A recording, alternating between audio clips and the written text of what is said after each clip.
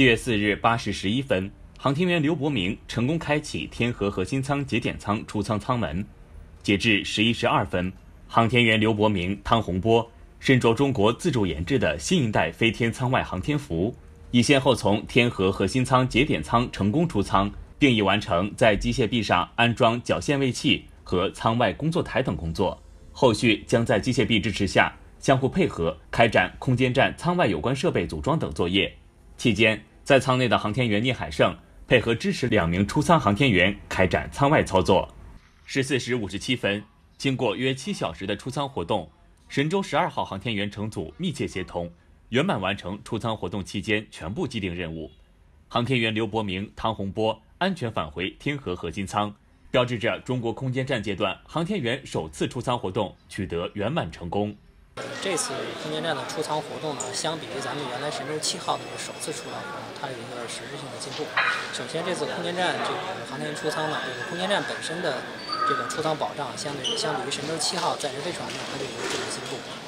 包括航天的这个出舱准备啊等等都有很大的改进。与神舟七号出舱任务相比，此次出舱活动时间长、任务重，同时还要首次进行人和舱外机械臂的配合，复杂程度大幅增加。这次航天员出舱呢，是要呃，一方面是要验证它的舱里外的爬行，还一方面呢，还要验证航天员站在机械臂上，机械臂带动航天员来进行舱内大、舱外大范围的活动，这个也是一个质的飞跃，这个也标志着我们这个出舱活动能力达到了一个世界先进的水平。从2003年神舟五号飞船首次实现载人航天飞行，到神舟七号实现航天员出舱，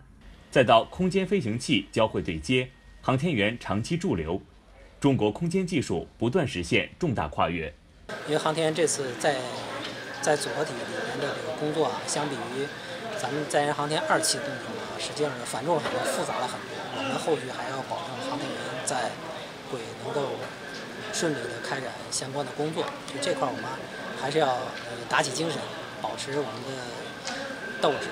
来支持航天员开展后续的工作。据悉。三名航天员在完成在轨飞行任务后，今年十月发射的神舟十三号飞行乘组将接替他们的工作。届时，他们将搭载返回舱返回地球大气层，着陆于内蒙古四子王旗着陆场。